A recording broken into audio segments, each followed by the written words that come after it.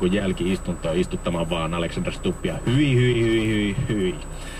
Shoutboxissa puhuttiin tuossa ennen uutisia, oli juttua Rovaniemellisestä marjan poimijoista.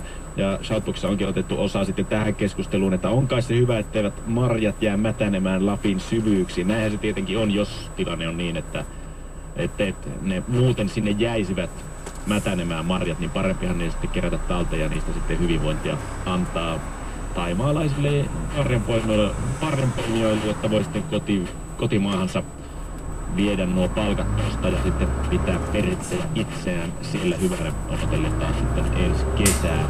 Milloin muuten on noi mustikan nostoajat? Alkaako nyt olla käsillä se, että milloin mustikkaa voi lähteä, koska mulla on pieni, pieni tavoite tänä vuonna käydä poimimassa talveksi